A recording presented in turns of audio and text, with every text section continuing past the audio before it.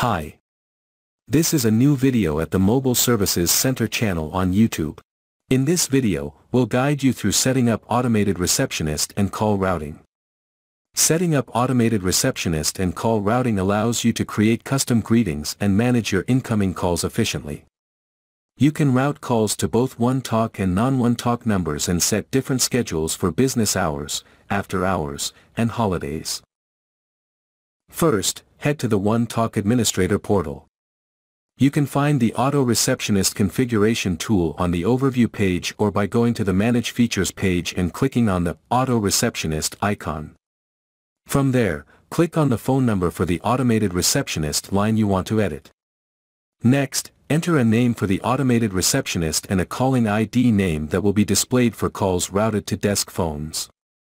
Make sure to select the correct time zone. Now, let's set up your dial by name and dial by extension options.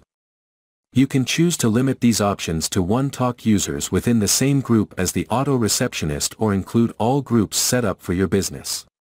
Next, we'll show you how to set up a schedule.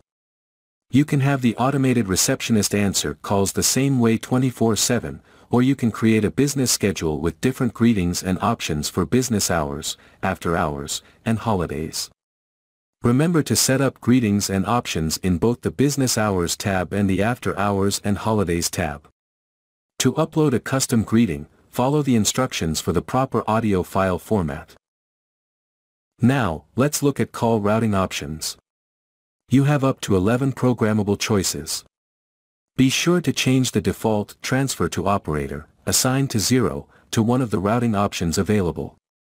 If you select a forwarding option, phone numbers must be 10 digits, and the direct to voicemail option is only available when selecting a one-talk number from the list. Once everything is set up, click Save to complete the process. If you don't currently have an automated receptionist number, you can get one by clicking New Automated Receptionist in the Purchase section. And now it is the end of our episode today. Don't forget to subscribe to our channel Mobile Service Center, and press like if you really like the video. See you in the next video.